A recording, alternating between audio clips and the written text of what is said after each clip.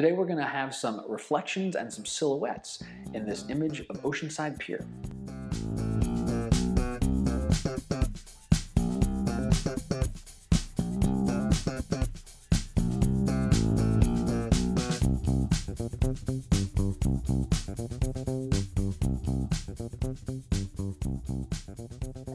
Hi everyone, I'm Scott Davenport and welcome back to In Post. And this week uh, is a little interesting. Uh, I have some travel coming up and I am pre-recording this session and I haven't actually done the processing of the image yet. I've got them in the machine and I have a pretty good idea of what I'm going to do with it. And there's one shot in particular that's uh, right around sunset, nice silhouette of this pier, some pretty nice um, reflections in the water. I don't think a lot is going to have to be done to this image post-processing. So um, when you're listening to the uh, the on-screen, you know, me in front of the computer part of this, that's where you're going to hear my more you know, aha moments or insights or observations. Uh, but I did want to have at least an intro to this video and um, taking care of that before I've got to jump on a plane. So with that, let's get over to the computer and start processing this image. So here's just a few of the images that I took while I was out at Oceanside Pier. Uh, did some long exposure work, uh, stayed well after sunset to get some moodier shots, uh, you know, some close-ups, nice silhouettes of the boat. But this one here is the one I'm going to show you uh, the processing on today. Um, I really liked the uh, this, you know, the composition's nice. I like the symmetry of the the sky reflecting in the uh, sheen of the sand here. But what sold me on it was the silhouette of these two folks here. There are people on the pier itself, so you get a very good sense of scale between these people kind of, um, you know, foreground but not right up in the front uh, with the entire pier. I just, yeah, this really just came nicely together. And so let me show you, um, here's what came out of the camera. So pretty darn close.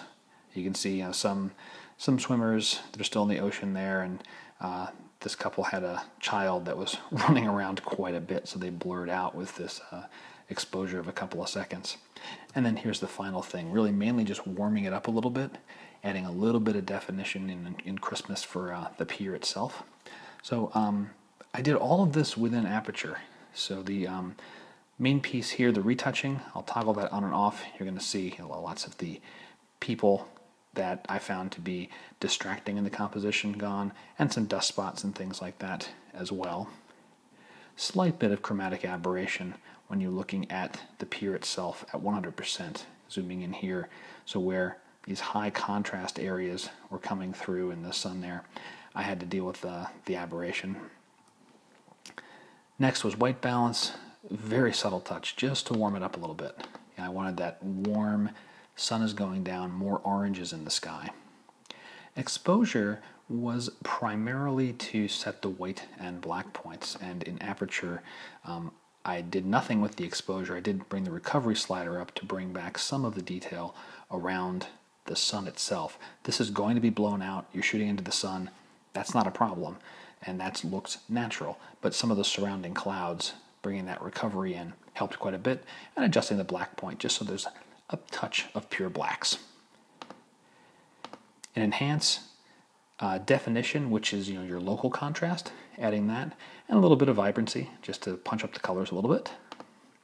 Um, the magic with the warmth is really in the curves. So the first curve here, let me switch over, I believe I played with the green channel. This uh, had a greenish cast once I'd finished some of these adjustments. I'll toggle this off and on. You can see this is kind of how it looked a little more out of the camera, a little more yellowish green coming through. I toned that down a bit just to cut that back. Very gentle tug down on the curve. That was all that was needed there. And then to highlight the oranges with the red channel, kind of using this center point as an anchor and just tugging up the reds ever so slightly to you know, get more of the reds and oranges in the sky. So before that and then after. A subtle change, uh, but all these are just subtle small things and they're adding up. Highlights and shadows, opened up the shadows just a little bit, and that was more for the foreground areas that gotten a little dark, these darker shadows. The clouds were quite dark, and so reflecting in the darker sand. That was uh, the minor touch there. In a color brick, uh, choosing orange, so use this picker, pick the color, and just pop the saturation ever so slightly. So before and after, really subtle. I'm not even sure if that's going to come through in the video. Last but not least, a vignette. That's also just a tiny touch off and on. Very little bit you'll see in the corners here. And finally, some sharpening. So the sharpening, um, since this was a raw image, I did a general 50% um, or so within the brush. Go here within the brush overall, just for the entire photo, and then some additional sharpening on the pier itself. And that was it. So at the end of all of this, now here's the original that came out of the camera, and here's after.